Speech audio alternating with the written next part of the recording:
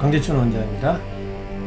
어, 이번 겨울은 참 포근한 편이죠. 어, 날씨가 약간은 춥지만 옛날에 비해서는 어, 생활할 만하네요.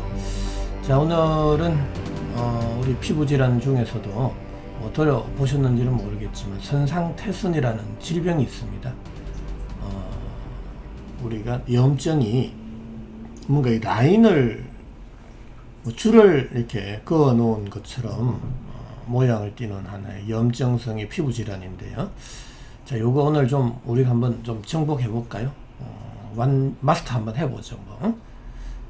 어, 근데 저는 항시 뭐 서두에서 말씀을 드리지만 저는 항시 인체 물리학적 관점 또 셰프열 에너지학적 관점에서 모든 질병을 또 해석하고 치료하고 있다라는 점 먼저 좀 이해를 해 주시고 제 강의를 들어주시면 어, 더더욱 좋겠습니다. 자, 선상 태선 이해를 위한 어, 우리가 한 세 가지 정도 어, 핵심 포인트를 좀 설명을 드리면 선 모양의 염증성의 구진 자 이게 핵심이죠. 어, 뭐 태선 질환 중에는 뭐 어, 광택태선 또 어린선 뭐 건선 뭐 다양한 질환들이 있잖아요. 그런데 이 선상태선은 선 모양, 줄 모양의 염증성의 구진이 생긴다. 자, 이거 왜 생길까요? 라는 걸 우리가 한번 설명을 할 수 있어야 되겠고요. 두 번째로는 이제 태선화의 병리 기전을 서술하라라는 이야기죠. 왜 태선이 되는지를 하나하나 이해를 좀 해 주십사라는 겁니다. 그럴 때만 이 선상 태선을 이해할 수 있겠죠. 자, 세 번째로는 이제 병 후기에 유가종성 염증 세포의 침륜이 보인다라는 거죠. 염증은 염증인데 유가종이다. 뭔가 어 약간의 뭐 새싹과 같은 뭔가 볼록이 튀어나오는 그런 하나의 종양의 종기의 어 염증 세포들이 막 나타난다라는 이야기죠. 자, 이러한 세 가지의 어떤 이해를 좀 우리가 한번 먼저 해야 되겠다라는 이야기고 자 이걸 좀 궁금증을 가지면서 우리가 어, 병을 한번 차근차근 좀 설명을 해 드려 보겠습니다. 아, 일단은 어, 선상태손의 정의죠. 정의. 자 선상 배열을 특징으로 하는 이라는 겁니다. 군집된 구진. 뭔가 어, 산발적이지 않고 모여 있다라는 거죠. 어느 라인을 기준으로. 그래서 어, 군집된 구진, 어, 언덕과 같은 발진이 생기가, 생기게 된다라는 이야기고 그 다음에 태선화, 어, 피부가 두터워지는 그러한 염증성의 피부 질환을 선상 태선이라 한다. 뭐 쉽죠? 어, 이 정의라는 것은 하나의 핵심적인 단어를 나열해서 그 질환을 잘 이해할 수 있도록 하나의 그 추출해 놓은 거죠. 그래서 이제 어, 딱 이렇게만 좀 정의를 해 놓으면 아, 선상태선이라는 게 어떠한 질환이다라는 걸 알 수가 있는 거죠. 자 그렇다면은 이 어, 우리가 그러면 선상태선이 발생하는 원인은 무엇일까라는 이야기겠죠. 어, 솔직히 말씀드리면 지금 뭐 논문이라든지 이런 걸 한번 찾아보시면 아시겠지만 이 원인이 아직까지 밝혀져 있다, 있지 않다라는 거예요. 참 이상하지 않나요? 지금 이 세대가 어떤 세대인데, 어, 어떤 세상인데, 왜 아직까지 이게 병 하나, 원인 하나 못 찾는 거죠? 뭐 언제 찾을 거예요, 언제? 지금 제가, 어? 임상한 지도 지금 36년이 되는데, 그때부터 지금까지 못 찾았다고 한단 말이에요. 언제? 그러면은 환자분들은 정확한 치료를 받을 수 있겠느냐라는 거죠. 참 답답하지 않습니까?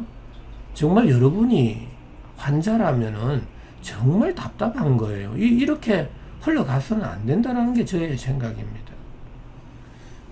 그리고 이제, 이제 이거 원인은 잘 모르겠지만, 이 나타나는 염증이 있잖아요. 그 염증은 뭐 바이러스에 감염이 됐다라는 거고, 그 다음에 염증이 이게 뭐 항원 항체 반응에 의해서 뭐 생기는 뭐 자가 면역 쓰리다 뭐 이런 관점에서 추정을 할 뿐이죠.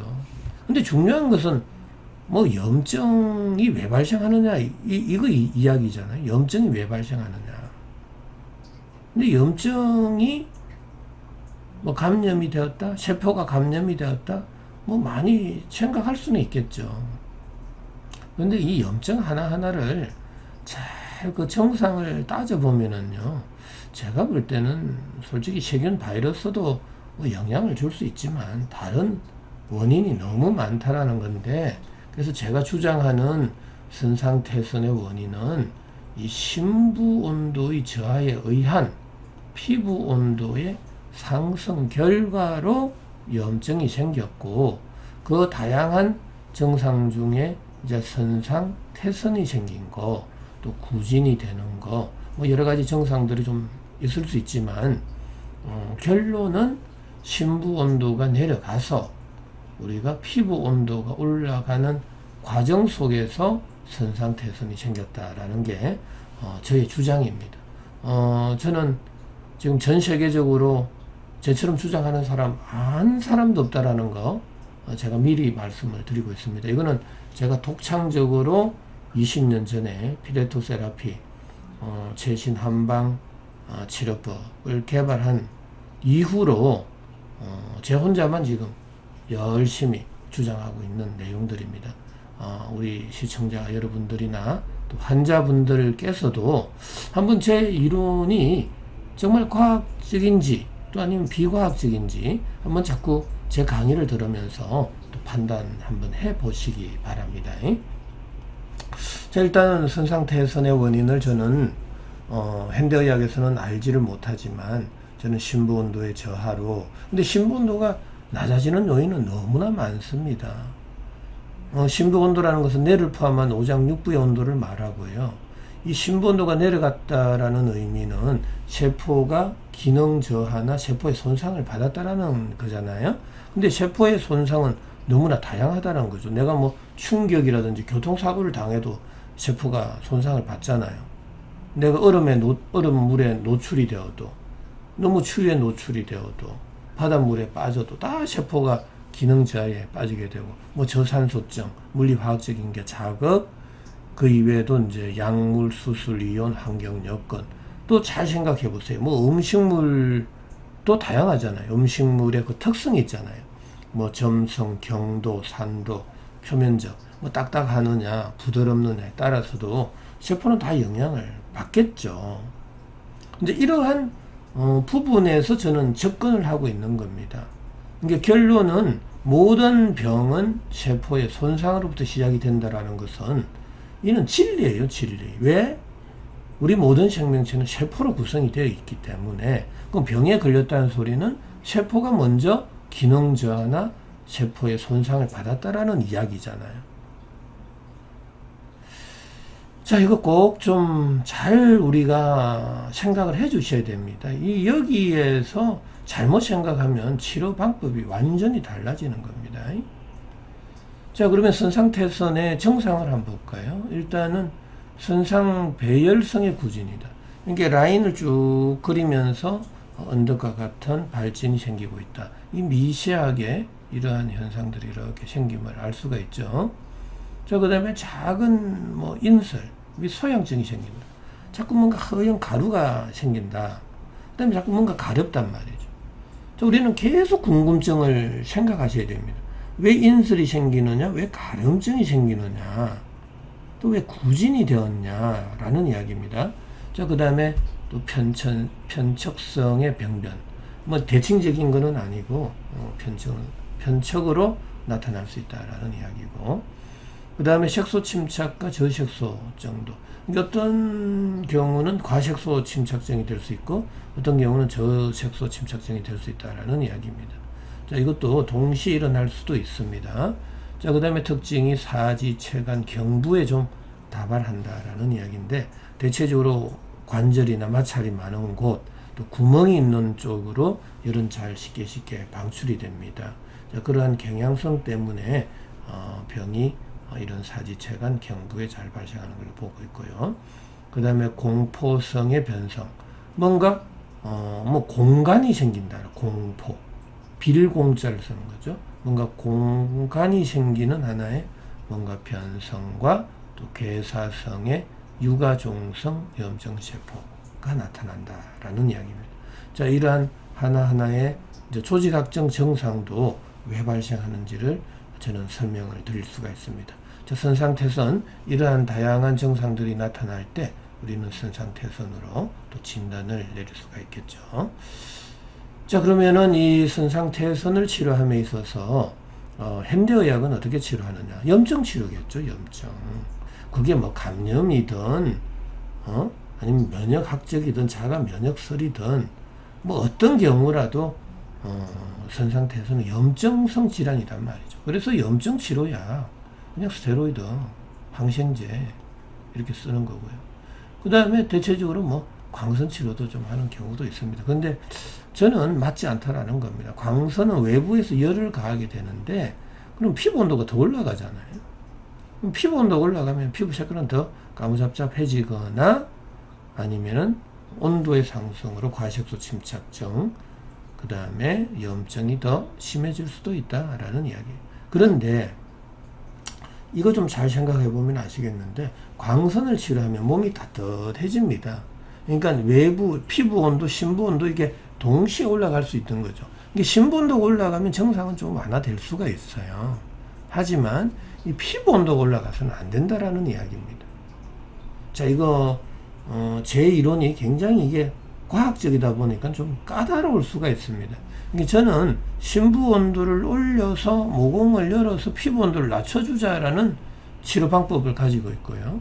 지금 현대의학에서는 무조건 그냥 스테로이드 항생제는 피부 온도를 낮추는 겁니다. 근데 피부 온도를 낮추는 약을 써서 염증을 치료하는데 한편에서는 광선을 쬐서 피부 온도를 높여버리네요. 이거는 뭔가 맞지 않는 거죠. 서로 간에. 안 그래요? 참 그 우스운 이야기입니다. 물리학적으로 잘 생각해 보세요.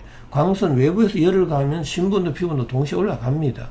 그래서 신분도 올라갈 때는 몸이 따뜻하고 좋아지는 수도 있습니다. 그런데 피부 온도를 올려버리잖아요. 그런데 한편에서는 스테로이드 항생제는 세포의 열 에너지 대사를 억제하는 약이에요.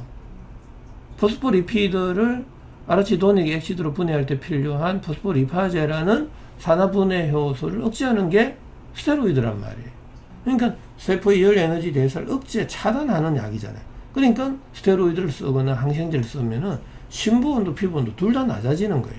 피부 온도가 낮아질 때는 염증이 완화되고 치료될 수 있겠지만 또 신분도가 내려가잖아요. 근데 내 몸의 신분도가 내려가면은 체온 조절 중추 시상하부에서는 바로 명령을 내려버리거든요. 그럼 모공이 더 다치고 또 밥을 먹고 활동을 하면 열은 발생하고 그 열이 방출이 안 될 때는 또 어느 한쪽으로 열이 확 쏠린단 말이에요.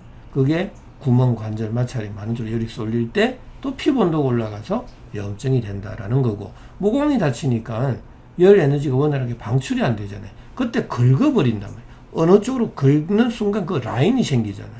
근데 라인을 따라서 염증이 될 때또 선상에 태선이 되는 건데 이 태선도 알고 보면 이제 피부가 두터워지는 어, 정상과 동, 정상이 동반될 때 이게 어, 선상 태선으로 또 발생할 수 있거든요.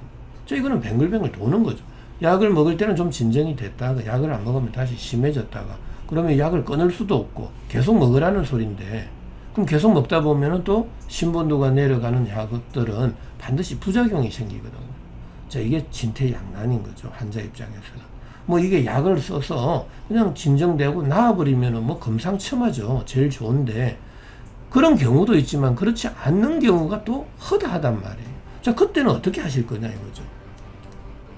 굉장히 이게 지금 딜레마에 빠진 겁니다. 의학도. 그래서 암도 치료 못하고 고혈압, 당뇨도 하나도 치료 못하는 거예요. 다 조절약이에요. 정상 완화약이고 피부 병도 마찬가지입니다. 근본적인 치료약이 될 수가 없어요. 스테로이드 항생제는.